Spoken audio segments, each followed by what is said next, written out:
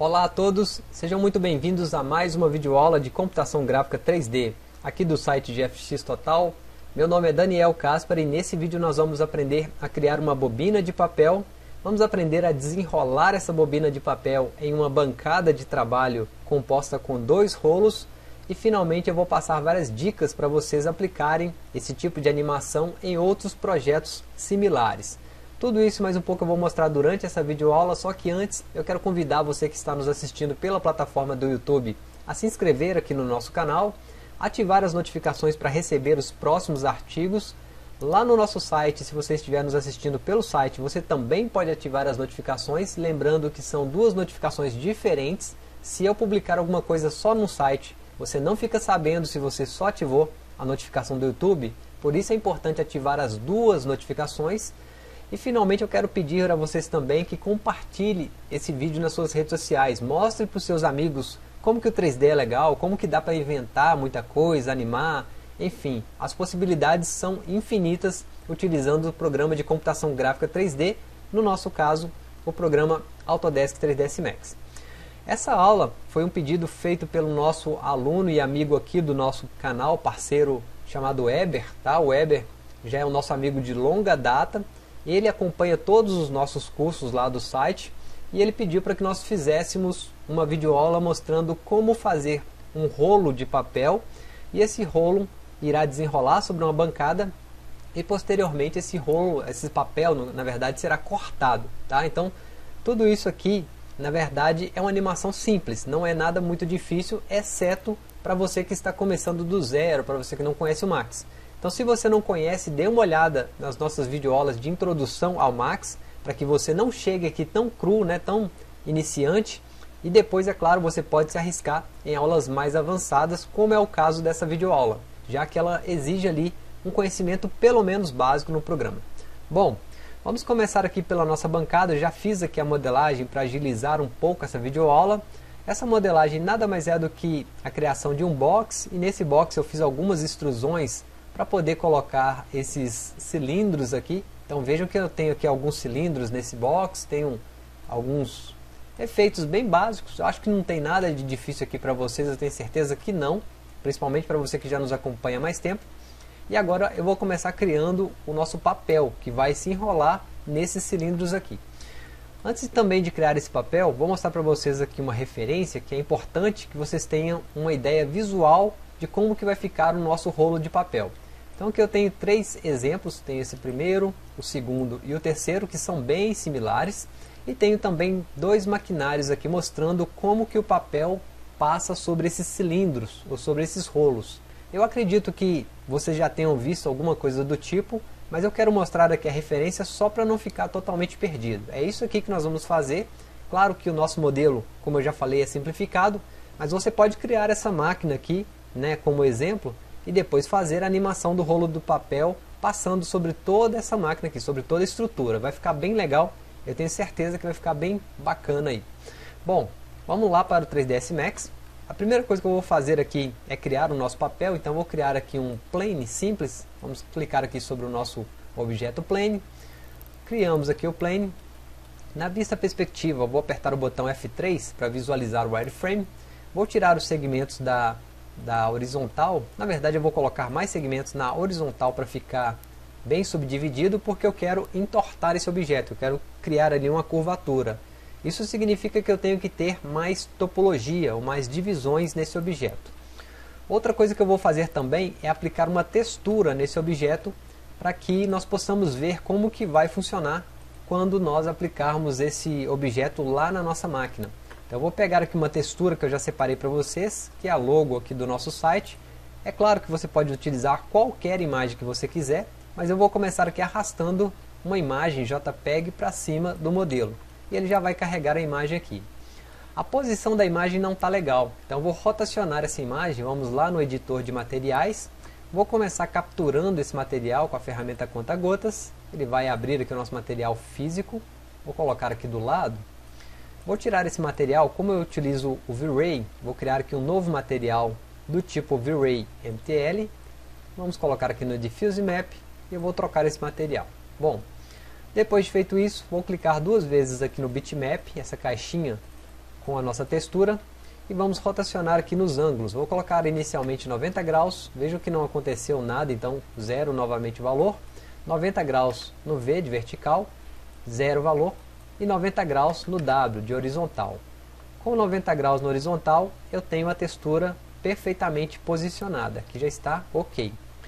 O próximo passo agora é executar o tiling, uma repetição dessa textura, porque eu quero criar uma folha extensa, uma, um papel bem longo. Então vamos pegar aqui o nosso modelo, vamos vir aqui na propriedade do nosso plane, e eu vou aumentar o tamanho dele, vou deixar bem grande aqui, vamos deixar bem maior aqui no nosso caso. Digamos que fosse uma folha aí de, sei lá, 30, 40 metros, eu teria que ter aqui uma extensão bem longa, certo? O tiling também, a repetição tem que ser maior, então vamos colocar aqui o tiling em 10 para começarmos. 10 ainda está esticado, vamos colocar em 15. Em 15 aparentemente está bom. Então tem uma folha aqui bem extensa agora. E agora eu tenho que aplicar essa folha lá na nossa bancada. Voltando a visualizar a folha mais uma vez com o botão F3, observem que as divisões são poucas. Então vou colocar aqui mil segmentos, vamos colocar aqui bastante, e vejam que agora temos bastante de segmentos aqui na nossa, no nosso plane, para poder curvá-lo aqui em volta do cilindro. O próximo passo agora é criar um caminho para que esse plane possa percorrer em volta do cilindro. Então vamos lá na vista left agora, e eu vou criar aqui um objeto chamado Helix. Vamos vir aqui no nosso painel Create, Shape, e vamos selecionar dentro do menu Splines um botão chamado Helix. Dentro do botão Helix eu vou criar aqui um exemplo simples, só para vocês verem.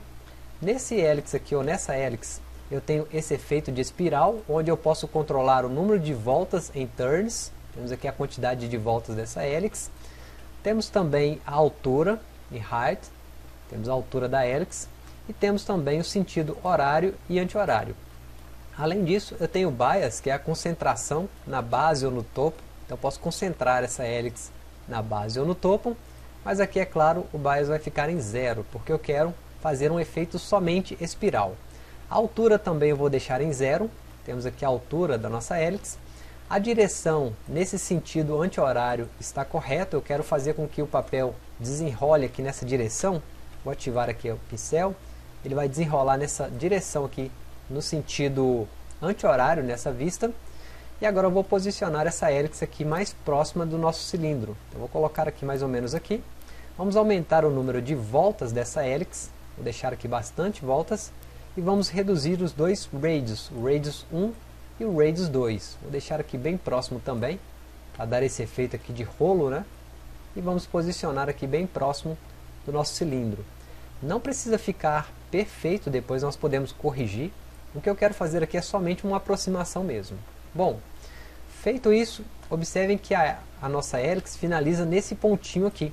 Mas eu gostaria que ela finalizasse logo aqui abaixo. Vou isolar aqui os modelos para a gente poder visualizar melhor. Eu gostaria que essa helix finalizasse nessa direção aqui, para que ela passasse embaixo desse rolo e continuasse em linha reta. Então pensando nisso, eu vou converter essa helix aqui como Editable Spline, clicando com o botão direito, Convert to Editable Spline, selecionamos o segmento, Vou vir aqui mais ou menos na direção que eu preciso. Acredito que essa direção aqui está ok. Tirei esse segmento e agora selecionamos a spline, que é essa linha final aqui. Vamos ver ela aqui separada e deletamos. Agora eu tenho essa saída aqui, ó, esse pontinho. Eu vou vir aqui no nosso botão Create Line. Create Line ativado. Eu vou criar uma linha começando por esse ponto. Só que eu vou ativar a nossa ferramenta Snap Toggle. Snap Toggle, por padrão, já vem como Vertex. Então temos aqui o travamento dessa, dessa linha. Travou, cliquei, ele vai criar uma nova linha. Agora vamos lá para baixo do outro rolo, mais ou menos nessa direção aqui. Posso desativar com o botão S para sair aqui do nosso snap. Agora eu pressiono o botão Shift para ficar reta a nossa linha e vou criar aqui mais uma linha no final. Então aqui, cliquei, finalizei com o botão direito do mouse. Tá? Temos uma linha aqui na perspectiva, dá para ver melhor, que é somente uma linha percorrendo em torno aqui desse cilindro.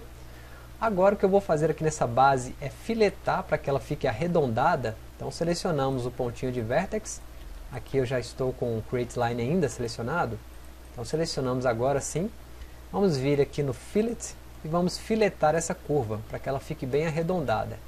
Acredito que aqui esteja bom, que é só uma simulação mesmo. Isso aqui vocês podem aproximar ou distanciar se quiserem. No nosso caso aqui eu vou só mexer um pouquinho mesmo.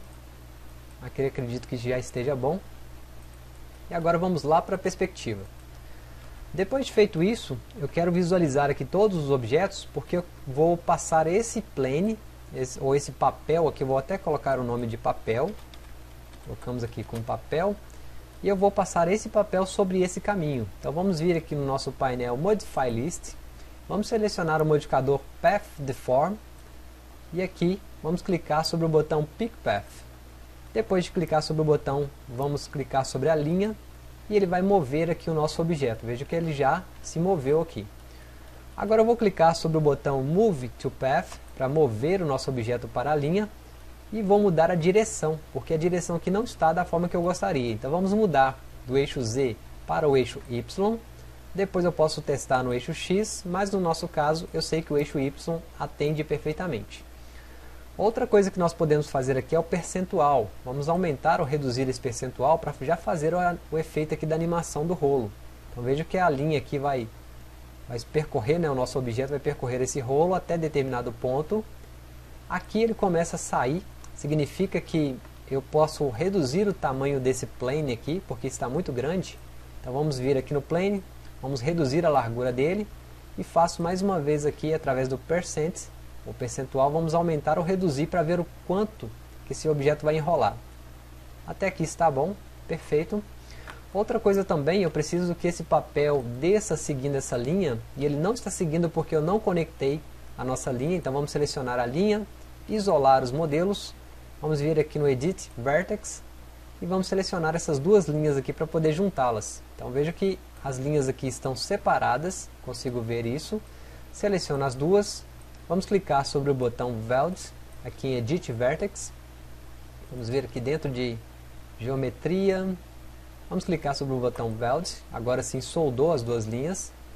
E vamos sair do isolamento mais uma vez e vejo que agora sim o papel está percorrendo essa linha. Esse papel ainda está um pouco largo, então posso até manualmente aqui reduzir a largura dele através do plane, vai ser mais fácil. Então, vamos reduzir a largura para que ele fique dentro do rolo.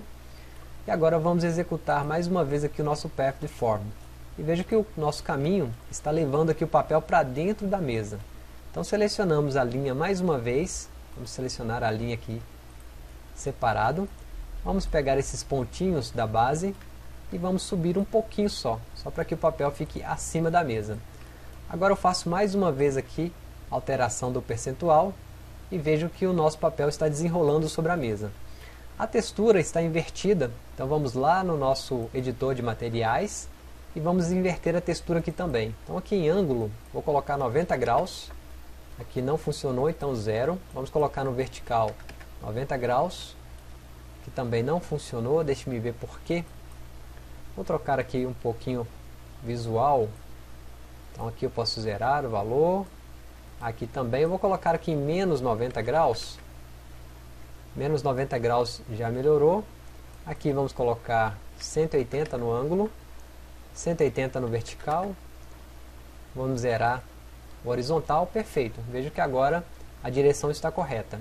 Posso fechar aqui o editor de materiais e vamos testar mais uma vez a animação. Agora que nós já vimos como que a animação funciona, eu vou maximizar a perspectiva, porque nós já entendemos exatamente como vai funcionar. Né?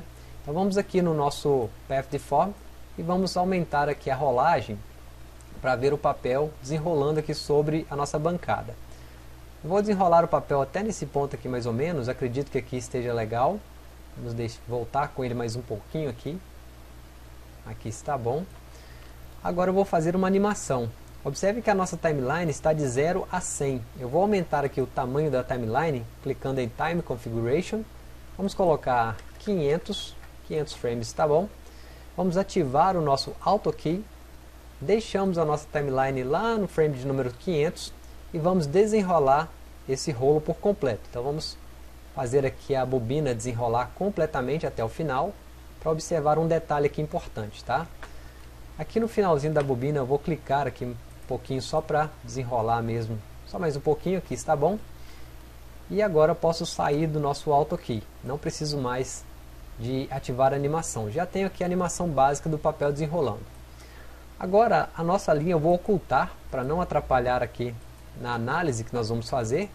E observe que fisicamente esse papel não está desenrolando corretamente. Eu percebo que quando eu desenrolo, ele vai abrindo aqui do centro para a borda. Isso aqui não acontece no rolo real, né, no, no rolo físico.